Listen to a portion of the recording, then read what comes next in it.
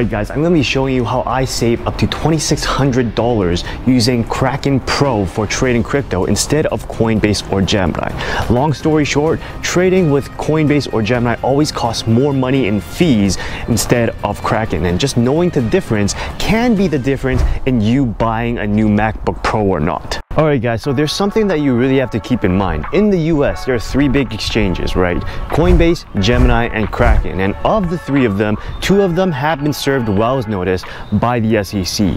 And what that means is that means that they are basically going to be going to court to fight a battle, a legal, lengthy legal battle against the SEC. And that is Coinbase and Gemini, right? And when you fight court battles, that's gonna cost a lot of lawyer money.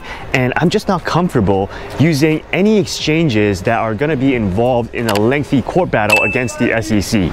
All right, so if you don't have a Kraken account, just go and create your account. It's pretty standard with the standard field, so just fill that out and click create an account. So one thing I like about Kraken is that they are very secure. So the first thing you want to do when you're setting up your Kraken account is verify your account, right? And by verifying account, you basically provide your personal information, which takes one to two minutes. And if you provide your ID, like your driver's license or something like that, then you get into intermediate, which allows you to have a bigger bank transfer unlimited crypto deposits, and 500k per day of cryptocurrency withdrawals. So when we're taking a look at Kraken with these options, you don't really need to visit account. You can leave that as a default.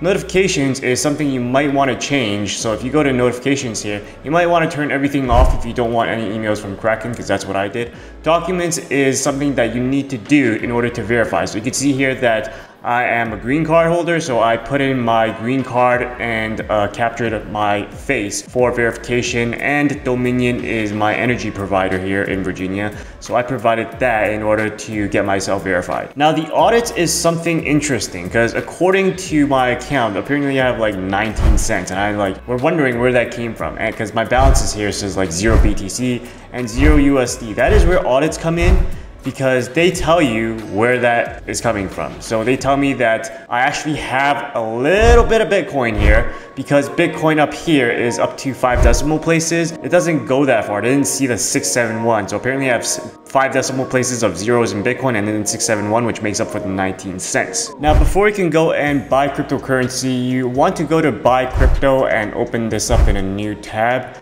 because what you need to do is you actually need to fund your account. And the easiest way to do this is by going to payment methods, add a payment method, and then link your bank account. So for myself, I use Wells Fargo, and then you're just gonna sign on with your username and your password to your bank. So once you've added your bank account, it should look something like this, and then you go to buy and you can go ahead and buy a certain amount of Bitcoin with what you have in your bank account. So with that, you have a dollar of fees and you can click I understand and then click confirm. But we're not gonna buy this way because we're smart people and we wanna buy in a better way. Now, if you had tried to click confirm on that trying to buy Bitcoin, you'd actually end up with nothing or an error because you haven't funded your account yet. So what you need to do is go under here in funding and go to your currency, your fiat currency here, and click deposit, which is this down button. And you can fund your account by connecting your bank account again. And this is now connecting using Plaid. So after you have authenticated with Plaid, what you have is your bank account attached and you can just put in a deposit amount here. I'm going to put in $500 and you can deposit your $500 USD. And then after that, just click confirm. So what we just saw was the fee structure of instant buy. We saw that with $50 that we wanted to buy, we had to pay a fee of $1. That's a bad deal. So what we're gonna do is we're gonna use Kraken Pro. And to do that, you can just come over here, which is under this Kraken icon. And when you click new order, you'll get tossed into this page. Now you never want to use the simple, you always want to use the advanced because we're smart. And what you want to do is you want to set the pair that you want to buy. We're doing BTC USD.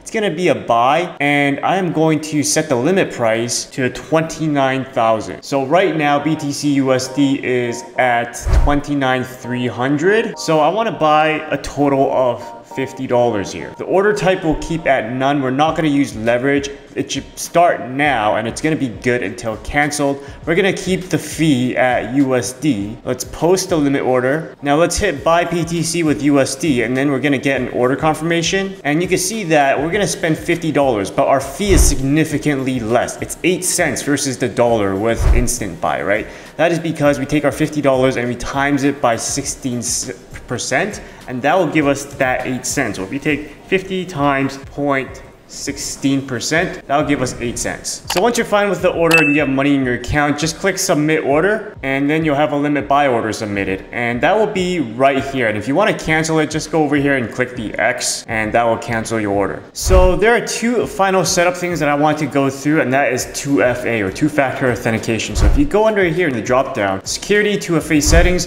you get dropped into this page. You see I haven't activated yet. So we're going to activate that now. And you're going to use an app like Google Authenticator to create the authentication codes. So after you've set up two-factor authentication with Google Authenticator, for example, the yellow warning that you saw should now turn into something like 2FA app and now you can go turn on 2FA for funding, trading, and everything else. So after you guys scan the key and fill in your authentication code, you get dropped into your funding 2FA settings and you want to turn this on for everything and click confirm. Now let's do the same for trading. Again, we'll have to set this up. So this would be our third key. And let's just ask for this code when we create a new order and we close open positions. Cancel open orders is fine. And to go hardcore, we're also to create a master key. So at the end of the day, you'll have everything turned on or toggled on and on your Google Authenticator you should have codes for each one of these. So you'll have four basically codes that are related to Kraken on your Google Authenticator. So as one more final precaution, let's go to global settings lock and go activate our global settings lock here. So more recently what happened is that Coinbase has stated that they will be publicly fighting the Wells notice that was served to them by the SEC. So that means that they are going to war with the SEC and that is not good to hear for any of the shareholders.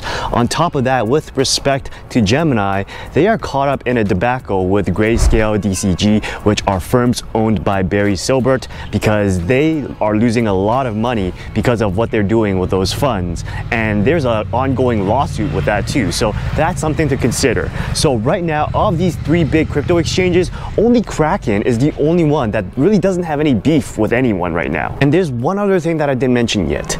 Of all the insiders at Coinbase, since Coinbase went public, more than $5 billion worth of Coinbase shares have been sold sold by the company's insiders. Now, when the company's insiders are selling stock like that, I am paying attention. All right, guys, so what I'm gonna do now is take you through an example of the trading fees you'll pay if you're using Gemini versus Coinbase versus Kraken when we're buying $1,000 worth of BTC. So before we get into that though, I gotta get you acquainted with maker and taker fees. And this basically talks about the adding and removing of liquidity into an order book. See, I already lost you already. But I'm gonna make it really, really simple. So if we're talking about maker fees, those are basically where you're using limit orders, like how we did it in this whole video tutorial. What we did is we made a limit order to buy at a certain price that is not the current price. That's the key word, not the current price. When you do it like that, the fees that you'll make are maker fees. When you buy at the current price, on the other hand, that means you make a spot order, you buy at the current price, whatever price it is, you'll take it. That is when you will take a taker fee. That is when you're removing liquidity. So basically what you need to remember is maker fees, that means that you are not buying at the current price. You're buying at some other price other than the current price. Taker fees, you're only going to pay that when you are buying at the current price or making a limit order to buy at the current price. Got that guys? All right, now let's move on. All right guys, so this next part is the part you'll hate because we're gonna start doing the comparisons between Coinbase, Kraken, and Gemini on their maker and taker fees. So let's start with Coinbase first. So with Coinbase, the maker fee is 0.40%. The taker fee is 0.60%. That means that if you trade $1,000 worth of Bitcoin, the fees you'll be paying in a maker fee situation is $4. In a taker fee situation, it's $6. Now, Gemini on the other hand, Gemini's active trader, the maker fee is 0.2% and the taker fee is 0.4%. So a little bit different, much cheaper than Coinbase, right? For every $1,000 worth of Bitcoin that you're buying, you're basically going to pay paying $2 in maker fees or $4 in taker fees. Now the last one, Kraken Pro, which we looked at, the fees for that is 0.16% and 0.26% for taker fees. That means that if you are doing a limit order out of the current price, then the amount of money you'll be paying for $1,000 worth of Bitcoin is $1.6 in maker fees and $2.6 in taker fees. So doing all that comparison, we can see that Kraken Pro is the cheapest one to use in terms of fees. So all those fees doesn't seem like much, right? It doesn't look like a big difference. But what happens if you start trading $100,000 for Bitcoin, right? Then the maker fees in terms of Kraken will be $1,600, but on Coinbase, it will be $4,000. That is a $2,400 difference, right? And that difference will get you a MacBook. So I really hope you enjoy your new MacBook. Now, I'm not the big baller here that is trading $100,000 worth of Bitcoin in one go, but I just wanted to use that example so I could put 2400 on my title. Other than that, guys, the next video you want to watch is my next video that I made all about Bitcoin. So check that one out.